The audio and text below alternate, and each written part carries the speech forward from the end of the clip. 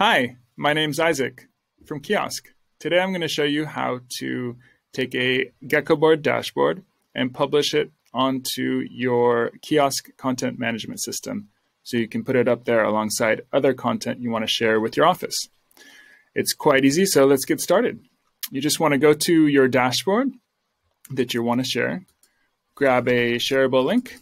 We're just going to select all, copy that, go over to Kiosk, we're going to add a new slide and we're going to select the any website option.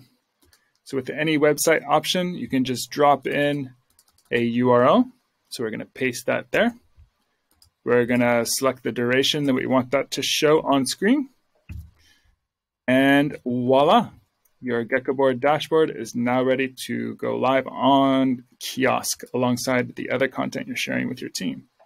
I hope this has been helpful for you and uh, hope you enjoy playing around with it. Have a great day.